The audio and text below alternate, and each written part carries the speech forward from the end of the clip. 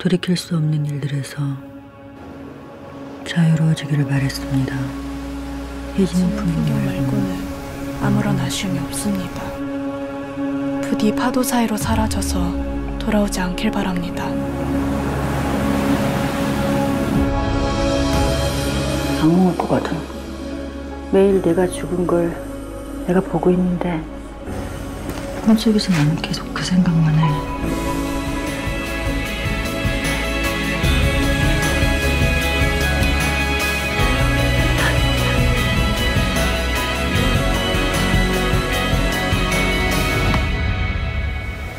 죽으려고 그랬던 게 아니라 어떻게든 살아보려고 그랬다고.